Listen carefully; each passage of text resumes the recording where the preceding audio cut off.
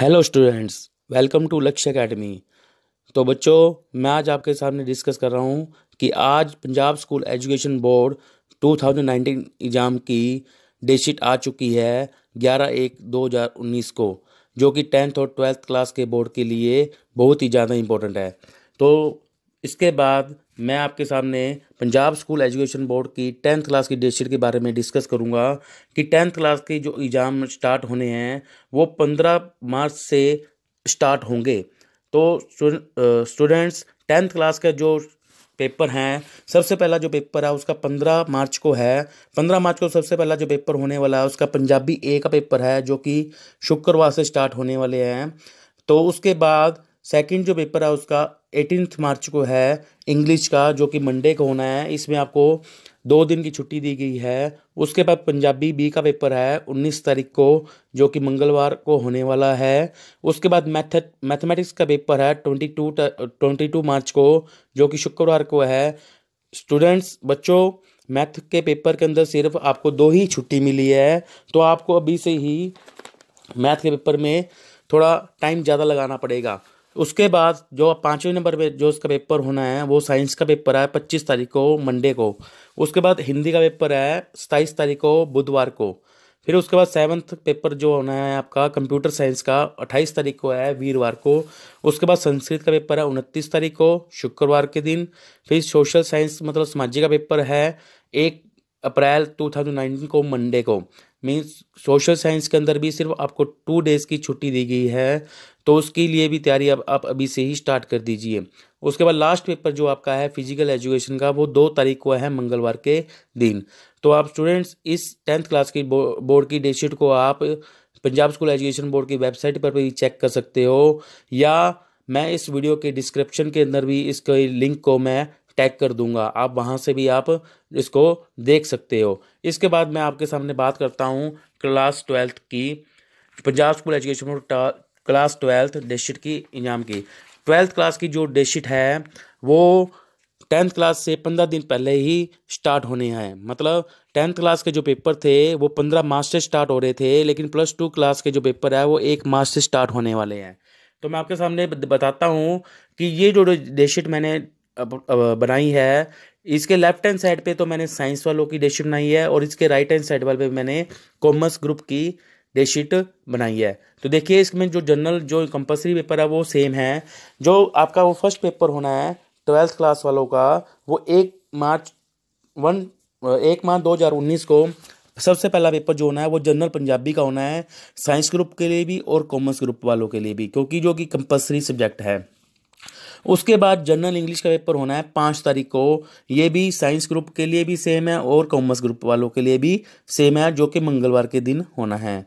उसके बाद science group में फिजिक्स का पेपर है आठ तारीख को, जो कि शुक्रवार को होना है, लेकिन आठ तारीख को कॉमर्स वालों ग्रुप का बिज़नेस स्टडी का पेपर है। साइंस वालों का फिजिक्स का कॉमर्स वालों का बिज़नेस स्टडी का।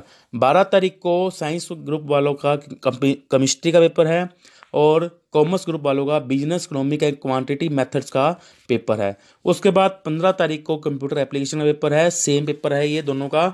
जिसने चॉइस में लिया है, उनके लिए पेपर होगा कंप्यूटर एप्लीकेशन का। फिर उसके बाद उन्नीस तारीख को है फ़िज़िकल एजुकेशन का, जो आपके मंगलवार के दिन होने वाला है। दोनों का सेम है साइंस ग्रुप में भी और कॉमर्स ग्रुप में भी। बीस तारीख को जो पेपर होना है वेडनेसडे को मतलब बुधवार को साइंस ग्रुप साइंस ग्रुप वालों के अंदर बायो का है और कॉमर्स ग्रुप वालों में अकाउंटेंसी का है। मतलब अकाउंटेंसी के अंदर आपके अकॉर्डिंग आपको देखें देखे, देखते हैं तो आपके पास आठ छुट्टियाँ हैं, क्योंकि कंप्यूटर एप्लीकेशन फ़िज़िकल एजुकेशन कई बच्चों ने नहीं नहीं रखी होती है तो मतलब आपके पास आठ छुट्टियाँ मिलेगी अकाउंटेंसी के पेपर में।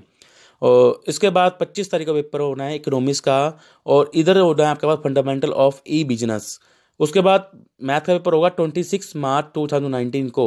जो कि दोनों के अंदर सेम है। सिर्फ़ इसके लिए आपको एक दिन की भी छुट्टी नहीं दी गई है। अगर जिनके बच्चों के पास मैथ और इकोनॉमिक्स दोनों सब्जेक्ट हैं तो उनको एक भी छुट्टी नहीं है। तो स्टूडेंट्स आपको अभी से ही इसके लिए पूरा ज़ोर लगाना पड़ेगा मैथ के पेपर के लिए, क्योंकि एक दिन के अंदर बिल्कुल तैयारी नहीं होती है। उस टाइम सिर्फ़ आपको रिवीजन चाहिए तो इसके लिए आपको बहुत ही ज़्यादा स्ट्रेटजी बनानी पड़ेगी अपनी प्लानिंग के अंदर। उसके बाद लास्ट पेपर जो होना है, वो कंप्यूटर साइंस का पेपर होना है। दोनों का कंपलसरी सब्जेक्ट है ये। कंप्यूटर साइंस का पेपर सताईस तारीख को होगा, ये कि लास्ट पेपर होगा आपका। सो स्टूडेंट्स इसके बाद अगर मैं आपको एडवाइस देता हूँ थोड़ी सी, कि जैसे कि मैं बात करता हूँ कि अगर आपने, मान लो तैयारी अभी, आप इसके लिए तैयारी अभी से स्टार्ट कर दीजिए। जैसे मैं डेली की बात करता हूँ मैथमेटिक्स की ही बात कर ले, कर लेते हैं। जैसे मैंने पहला चैप्टर मान लीजिए, मैंने टेंथ क्लास की बात करता हूँ। कि फ़र्स्ट चैप्टर मैंने लिया रियल नंबर अगर आप रियल नंबर चैप्टर लेते हो तो इस चैप्टर के देख लो कि टॉपिक कितने हैं। उस टॉपिक आप एक टॉपिक ले हो, दो टॉपिक ले सकते हो तो उन टॉपिक के आप दो दो, तीन तीन सम को आप रिवाइज कीजिए। जितने अगर आप क्वेश्चन रिवाइज करोगे, उसके पहले, सबसे पहले आप क्या करो, उसके मेथड को समझो कि इसमें कहता क्या है। जैसे रूट टू ई रैशनल नंबर आपने प्रूव करना है तो सबसे पहले अब इसके मेथड को समझिए, फिर उसके बाद इस क्वेश्चन को आप कीजिए दो, तीन बार। आप इसकी प्रैक्टिस करते जाइए। अगर दो दो टॉपिक तीन टॉपिक या चार टॉपिक जितनी भी आपकी कैपेसिटी है कैपेबिलिटी है कि आप एक दिन के अंदर इतना आप इस टॉपिक को आप कवर कर सकते हो तो आप अपनी प्लानिंग के अकॉर्डिंग आप इन आने वाले दिनों के अंदर ऐसी स्ट्रेटजी तैयार कीजिए ताकि आपके सारे टॉपिक क्या हो जाए कवर हो जाए। सो so, स्टूडेंट्स आप अपनी मेहनत को बहुत कीजिए ताकि पेपर के अंदर जो छुट्टियाँ हैं, बहुत ही कम हैं। एक एक दो दो छुट्टियों से बात नहीं बनती है। इसके लिए अभी आपको अभी से स्टार्ट करनी पड़ेगी तैयारी। और इसके बाद अगर आपके टॉपिक कवर हो जाते हैं एन की बुक अगर आपने कंप्लीट कर लेती है कर लेते हो उसके बाद आपको लगता है कि मुझे सैंपल पेपर भी तैयारी करनी है तो सैंपल पेपर के लिए आप आप बाज़ार में ओसवाल के या अरियंत के पेपर आप ट्राई कर सकते हो या मार्केट में बहुत ही ज़्यादा पेपर आते हैं सैंपल पेपर उन पेपर को आप रिवाइज कर सकते हो। लेकिन इन पेपरों को आपने रिवाइज इस तरीके से करना है कि आ, आपको पेपर में तीन घंटे का समय मिलता है। तो आपने टाइम के अकॉर्डिंग इन पेपरों को सोल्व करना है। अगर आप कोशिश करो कि ये पेपर जो है, ढाई घंटे के अंदर आप सोल्व कर सकते हो तो मीन्स जो आपके पास आधे घंटा का टाइम बचेगा, वो आप चेकिंग के लिए कर सकते हो। अगर कोई क्वेश्चन आपको मिस आता नहीं है, उसके लिए आप टाइम निकाल सकते हो। ये जो आप, अगर आप ढाई घंटे के अंदर पेपर को पूरा कंप्लीट करते हो तो ये आपको फाइनल एग्ज़ाम के अंदर बहुत ही हेल्प करेगा। तो स्टूडेंट्स इसके लिए आपको थोड़ा मेहनत करनी पड़ेगी। आप इसके लिए मैथमेटिक्स के लिए आप मैथमेटिक्स के फार्मूलों को एक चार्ट बना लीजिए। उन उस चार्ट पर आप सभी चैप्टर्स के, सभी टॉपिक्स के फार्मूलों को एक साथ चार्ट पे लिख लीजिए और उस चार्ट को आप अपने स्टडी रूम के ऊपर स्टडी रूम में जहाँ आप स्टडी करते हो, उस, वहाँ पर उसके सामने दीवार पर चिपका लीजिए ताकि वो आपको हर रोज़ नज़र आए, ताकि आप उसको पढ़ सको और आपके वो दिमाग में फार्मूले याद रहे और पेपर के अंदर आप क्वेश्चन को ईजिली सोल्व कर सको।